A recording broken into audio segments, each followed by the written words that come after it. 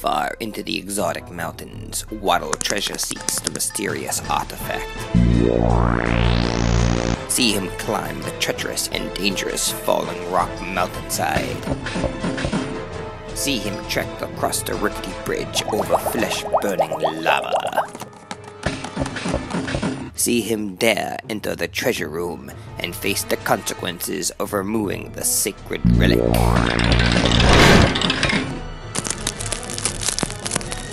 Will he survive? Cut! We've certainly come a long way in 20 years, haven't we? With all of our advancements, color, more frames, HD, I'd say our crowning achievement has to be our green screen. We've actually done several tutorials on this, and ever since, people have been asking me to do more. Well, so be it. Today, we're going to learn how to put some props as effects in your film. So, let's go back and watch this again. To start, let's get some photos.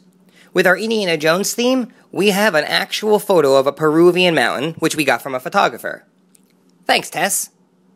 The close-up shots, however, are just the side of a wall. We just dimmed it up a bit and added some dirt. Now let's add some props. The rope I climb, just a shoelace with the aglet cut off. Yeah, we're literally working on a shoestring budget. And then, of course, we just added a rock.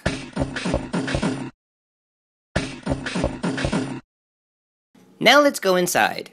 For the green screen backgrounds, we just took a picture of the wall with some cobwebs on it. As far as the bridge, well, this is just a couple of pieces of string and some popsicle sticks. And the lava? That's just tomato sauce. Yep, I used cans of tomato sauce in my art. Andy Warhol would be so proud. Now for the treasure room, we just put some buttons in the background. And for the relic, this is just an old toy we had. And finally, for the ending with the cracks on the floor, these were just all drawn separately on green pieces of paper. And there you have it. The simplest things added to the simplest of plots. Now, let's go back and watch this from the beginning. Action!